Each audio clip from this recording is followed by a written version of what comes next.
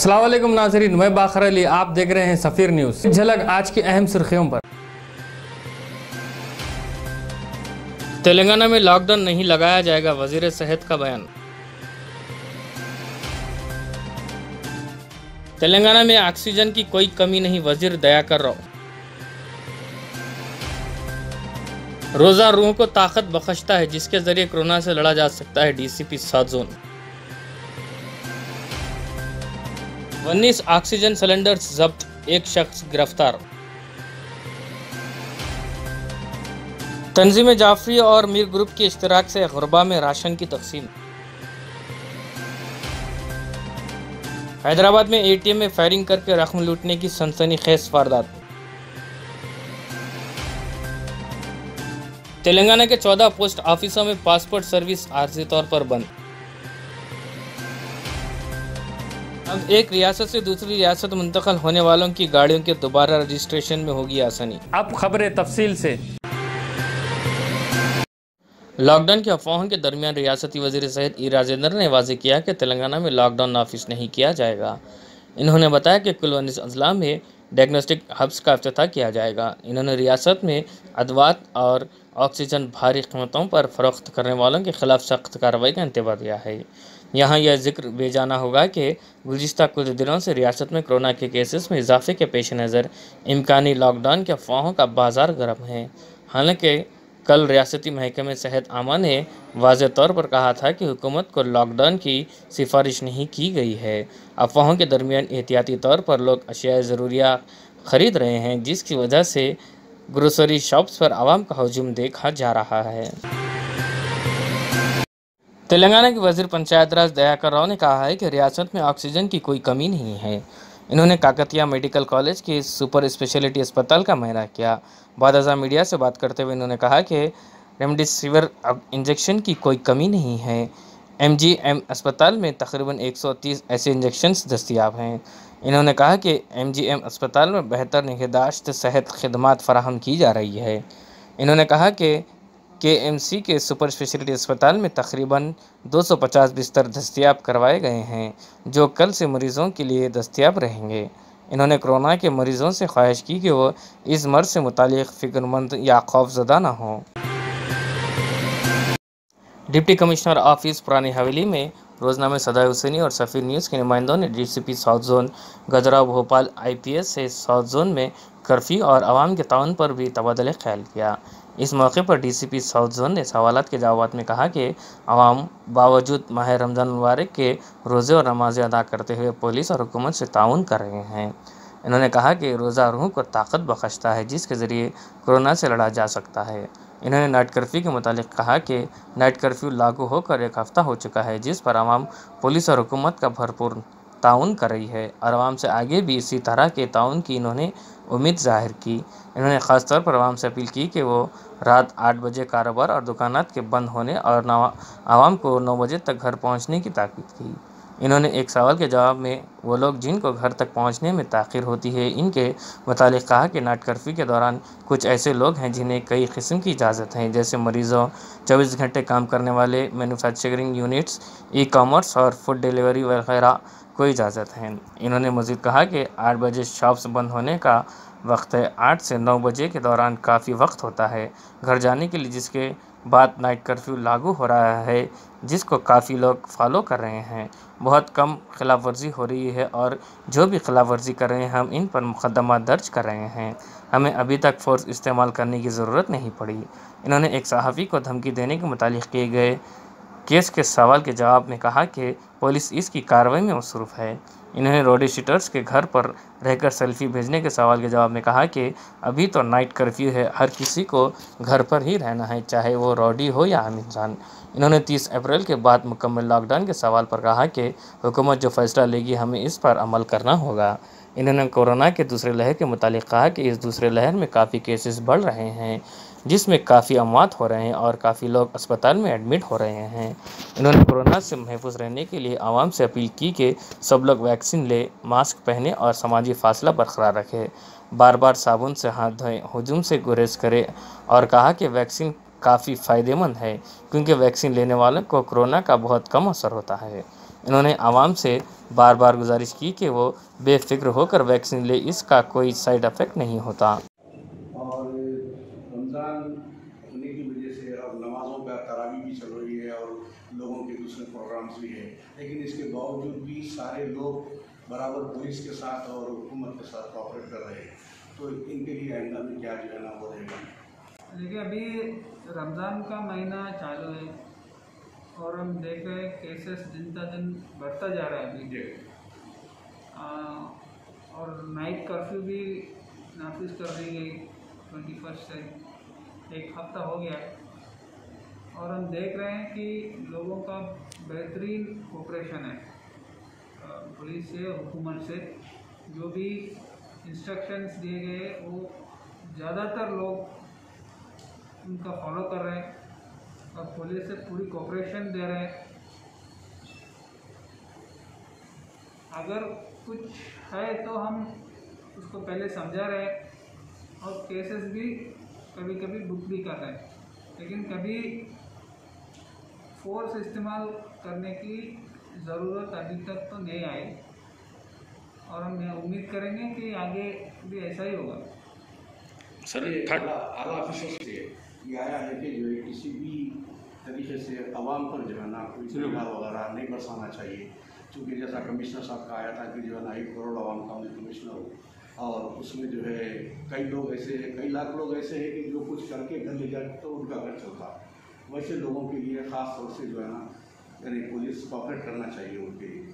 तो उसके लिए जो है ना, यानी रात में जब वो लोग घर पहुँचते हैं, अगर किसी वजह से कुछ हो जाता है, रास्ते में ताकि हो जाती है तो उनके लिए जो है ना, क्या जो है ना सहूलत रहेगी है? बहुत सारे एग्जाम्पन्स है। जैसे पेशेंट्स को एग्ज़ाम है और कुछ ऐसे कार्रवाई ऐसे फैक्ट कुछ मैन्युफैक्चरिंग यूनिट्स हैं जो 24 घंटे चलाने वाले है। उनको एग्जाम्पन है और ई कॉमर्स वाले को एग्जाम्पन है। बहुत सारे एग्जाम्पन्स हैं। उनके फ़ूड डिलीवरी को भी एग्जाम्पन्स है। और आठ बजे से शॉप्स बंद होने का और नौ बजे तक नाइट कर्फ्यू से चालू होगी। तो बीच में भी टाइम है घर आने का। पर ज़्यादातर लोग उसको फॉलो कर रहे हैं। बहुत कम वायलेशंस है और वायलेशंस जो भी है हम केस कर रहे हैं। किसी पर अभी तक फोर्स इस्तेमाल करने की ज़रूरत नहीं पड़ी। सर जर्नलिस्ट को भी धमकी दी गई थी। तो उसके नतीजे में आप क्या कहना चाहेंगे? वो यानी कुछ खबर नहीं अब तक कुछ है रजिस्टर के जी इन्वेस्टिगेशन चालू है सर ये थर्टी अप्रैल तक अभी नाइट कर्फ्यू का है। सर, अभी केसेस बढ़ते जा रहे हैं कोरोना के तो मुमकिन है सर आगे और एक्सटेंड होगा क्या? नहीं हम हम इसमें कैसे कमेंट क्योंकि सोशल मीडिया पे ये वायरल हो रहा है कि थर्ड में से फिर टोटल लॉकडाउन होगा तो ऐसा कुछ पब्लिक के लिए पब्लिक अवेयरनेस नहीं तो हमारे हाथ में नहीं है हम कमेंट कर सकते सर ये रॉडी सीटर्स को भी रात में सेल्फी भेजने के लिए भी एक आप लोग उधर से हुआ था। तो अभी सर वो चल रहा है सर ये? अभी भी? नहीं अभी पूरा नाइट कर्फ्यू है वो नाइट चेकिंग वाला जो रूटीन में कर रहे हैं कर रहे हैं लेकिन वो नाइट वो जो काम कार्रवाई है वो अभी रूटीन कार्रवाई हम ज़्यादातर नहीं कर रहे। हैदराबाद शहर में कोरोना की वबा ज़ोरों पर है और ऑक्सीजन सिलेंडर्स की कालाबाजारी भी ज़ोर, शोर से जारी है। सिटी पुलिस कालाबाजारी करने वालों के खिलाफ पंजा कस रही है। आज west zone task force team ने P Radhakrishna Rao, DCP commissioners task force, west zone Radhakrishna Rao की क़्यादत में आयशा इंटरप्राइजेज थानकोट गोलकुंडा पर धावा करते हुए यहाँ पर गैर कानूनी तौर पर रखे गए। उन्नीस ऑक्सीजन सिलेंडर्स को जब्त करते हुए एक शख्स अब्दुल करीम को गिरफ़्तार कर लिया और मजीद तहकीक़त जारी है। पंद्रह रमज़ान मुबारक यौम विलादत इमाम हसन मुशतबा के मौके पर तंजीम जाफरी और मीर ग्रुप की जानब से कदीम आशरकन इमाम रज़ाए गरीब अलैहिस्सलाम जलाल बाबा नगर, राजेंद्र नगर में हर साल की तरह इस साल भी बिला लिहाज मज़हब मिलत गुरबा में तकरीबन दो सौ से जायद राशन किट्स की तकसीम अमल में आई। इस मौके पर मौलाना सैद तकी रज़ा आबिदी सदर तनज़ीम जाफरी और सौद इंडिया शिया काउंसिल और याजुल हसन आफंदी, गोल्डी साहब M L C M I M ने सफ़ी न्यूज़ से बात करते हुए इमाम हसन मुशतबा के विलादत की मुबारकबाद पेश की और इस तरह के फलाही खदमात अंजाम देने और इसमें ताउन करने वालों की सतश की। इस मौके पर सैयद जाफ़र हुसैन साहब, एडिटर रोज़नामा सदा हुसैनी और सी ओ सफ़ीर टी वी जनाब मीर काजम अली साहब, Mir group, Syed Ali Naqi Musavi general secretary Tanzeem Jafri, मोहतरमा मुतवलिया, आशर खान, इमाम रज़ा गरीब अलैहिस्सलाम जलाल बाबा नगर, राजेंद्र नगर के अलावा दीगर मौजूद थे।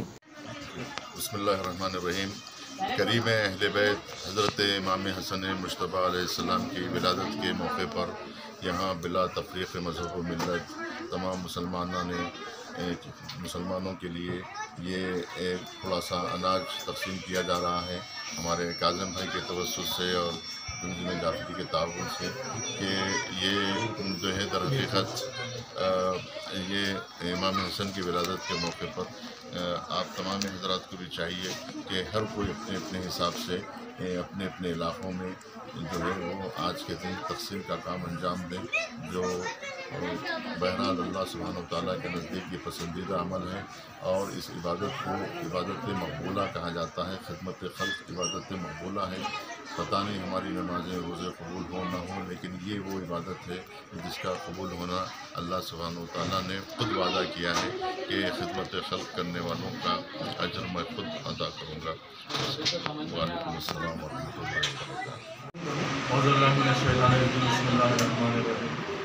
सबसे पहले तो मैं सरकार दूसरे इमाम इमाम हसन मुशतबा की विलादत व की मुबारकबाद पेश करता हूँ। और इस मौके पर जनाब काजिम साहब का, उनके तमाम साथियों का शुक्रिया अदा कर हमने आज एक राशन किट्स का बैग्स का तकसीम किया। अशोक खान इमाम रज़ा सलाम से। अल्लाह बारगाह में दुआ को इस खदमत को अल्लाह पाक अहल बैत कबूल फरमाए और हम तमाम को मजीद इस किस्म के काम करने की तोफ़ी शुक्रिया। हैदराबाद में दिन दहाड़े एक एटीएम सेंटर में फायरिंग करते हुए भारी रकम लूट कर फरार होने का वाक़ पेश आया, जिसमें दो सिक्योरिटी अमला ज़ख्मी हो गए। ये वाक़ हैदराबाद के कोकटपल्ली में पटेल कुनबा पार्क के करीब वाक़ एटीएम में पेश आया, जहाँ एटीएम में नकदी भरने वाले लोगों पर डाकुओं ने फायरिंग कर दी। सिक्योरिटी गार्ड्स के हमरा एटीएम गार्ड पर डाकुओं ने फायरिंग कर दी और इनसे रकम लूट ली। फायरिंग से दो अफराद शदीद ज़ख्मी हो गए। ज़ख्मियों को अस्पताल मुंतकिल कर दिया गया। ऐनी शाहिदीन के मुताबिक तीन राउंड फायर किए गए। फायरिंग के बाद लुटेरे वहाँ से रकम लूट कर फरार हो गए। फायरिंग में ज़ख्मी होने वालों की शिनाख्त अली बेग श्रीनिवास की हैसियत से कर ली गई है। Secunderabad regional passport officer Dasari Balaiah ने कहा कि तेलंगाना में कोरोना वायरस की वबा की वजह से रियासत के चौदह पोस्ट ऑफ़िस में फ्राहम किए जाने वाले पासपोर्ट सर्विस चौदह मई तक रोक दी गई है, जिनमें वरंगल खम्भम नलगुंडा, महबूबनगर मेडक आदिलाबाद, यादाद्री, भुवनगिर, सिद्दीपेट, मंचरियाल, महबूबाबाद, कामारेड्डी विकाराबाद वनपति और मिर्चल पोस्ट ऑफ़िस में खदमात मअतल रहेगी। इन्होंने वाजे किया कि यह फ़ैसला मुस्तबिल में बहाली से कबल पोस्टल हुकाम से मुशावरत के बाद किया जाएगा इन्होंने ये भी कहा कि रियासत के पाँच पासपोर्ट सर्विस मराकज़ में खदमत पहले की तरह जारी रहेगी हैदराबाद में बेगमपेट अमीरपेट टोली चौकी निज़ामाबाद और करीमनगर पासपोर्ट सर्विस सेंटर्स में खदमत मामूल के मुताबिक जारी रहेगी जबकि रियासत के चौदह पोस्ट ऑफिसों के ज़रिए फराहम करदा खदमात ही बंद कर दी गई है वजारत ट्रांसपोर्ट ने एक नोटिफिकेशन जारी किया है, जिससे एक रियासत से दूसरी रियासत मुंतकल होने वालों को अपनी गाड़ियों का दोबारा रजिस्ट्रेशन कराने में आसानी होगी। ये इकदाम हुकूमत के ज़रिए मोटर गाड़ियों के रजिस्ट्रेशन के लिए आई टी पर मबनी हल तलाश करने और शहरीों पर मरकूज इकदाम के ज़मन में उठाया गया है। सड़क ट्रांसपोर्ट और शाहराहों की वजारत ने मोटर गाड़ियों के रजिस्ट्रेशन का एक नया निज़ाम तजवीज़ किया है, जिसमें मौजूदा नंबर को आई एन सीरीज़ के तहत तजुर्बाती तौर पर पेश किया जाएगा। आई एन सीरीज़ के तहत मोटर गाड़ियों के रजिस्ट्रेशन की ये सहूलत वजारत दिफा के अहलकारों, मरकज़ी हुकूमत, रियासती हुकूमतों, मरकज़ी या रियासती सरकारी सेक्टर की यूनिटों और प्राइवेट सेक्टर की ऐसी कंपनियों या इदारों के मुलाजमीन के लिए होगी, जिनके दफातर पाँच या इससे ज़्यादा रियासतों और मरकज़ के जेर इंतज़ाम इलाक़ों में मौजूद हैं। मोटर गाड़ियों से मुतल टैक्स दो साल के लिए आयद किया जाएगा। इस स्कीम से लोगों को भारत के किसी भी रियासत से दूसरी रियासत मुंतकल होने पर ज़ाती मोटर गाड़ियों की आज़ादाना मुंतकली में मदद मिलेगी। जब्तों ने एक मसवदा वेबसाइट पर अपलोड किया है, जिसमें रियासतों, मरकज़ के ज़र इंतज़ाम इलाक़ों और आवाम से नोटिफिकेशन की तारीख से तीस दिन के अंदर अपनी राय देने को कहा गया है, जिसके बाद इन जवाब को कतई शक्ल दी जाएगी। आर्थिक मदद करने के लिए डिस्क्रिप्शन में दिए गए लिंक पर जाएँ और अपनी राशि चुनें।